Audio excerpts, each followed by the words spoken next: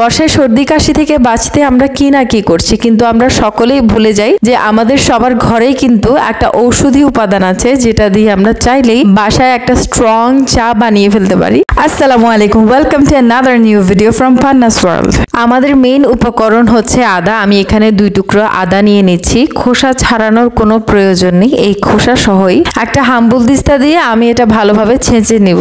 এইভাবে করে আদাগুলোকে যদি আপনি ছেঁচে নেন, তাহলে এর যে নির্যাস তা কিন্তু সম্পূর্ণ চায়ে চলে যাবে। এবার আমি দুই পিস এলাচ দিয়ে দিচ্ছি। এলাচ গোটা দিলে হবে না, এটাকেও একটু সামান্য ছেঁচে নেবেন যাতে ভেতরের যে দানা, সেগুলো বের হয়ে আসে। তাহলেই এর ফ্লেভারটা কিন্তু চায়ে চলে যাবে। এবার আমি দুই কাপ পরিমাণ পানির মধ্যে অ্যাড করে দিচ্ছি ছেঁচে রাখা আদা, এলাচ, সাথে কয়েকটা লং, সামান্য একটু লবণ আর স্বাদ মতো চিনি দিয়ে সবগুলো একসাথে মিক্স করে আমি চুলার মধ্যে জাল দিয়ে দিচ্ছি। বেশিক্ষণ না, পাঁচ থেকে ছয় মিনিট এটা যখন উতরাবে, তখনই কিন্তু আপনারা নামিয়ে নেবেন। এবার আমি জাস্ট কাপটা রেডি করে নিচ্ছি। কাপে আমি দুই পিস লেবু দিয়ে দিচ্ছি, একটু দাঁতে লাগার মতো আদা আর কালো জিরা। সবটাই কিন্তু স্বাস্থ্যের জন্য অনেক বেশি উপকারী। এবার আমি উপর থেকে আমাদের যে চায়ের লিকার, সেটা অ্যাড করে দিচ্ছি। এই আদার চা কিন্তু সর্দি কাশির জন্য খুব বেশি ভালো। আর লেবুতে অবশ্যই সাইট্রিক অ্যাসিড আছে, এটাও কিন্তু সর্দি কাশির জন্য অনেক বেশি ভালো হয়। সবকিছু মিলিয়ে এটা স্বাস্থ্যের জন্য খুবই হেলদি একটা চা। তাই এই বর্ষার দিনে যখন একটু সর্দি কাশি হবে, সাথে সাথে আপনারা এই চাটি